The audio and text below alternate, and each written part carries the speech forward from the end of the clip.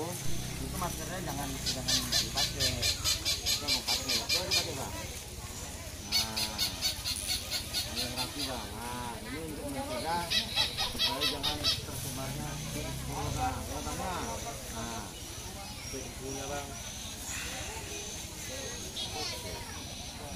makasih bang ya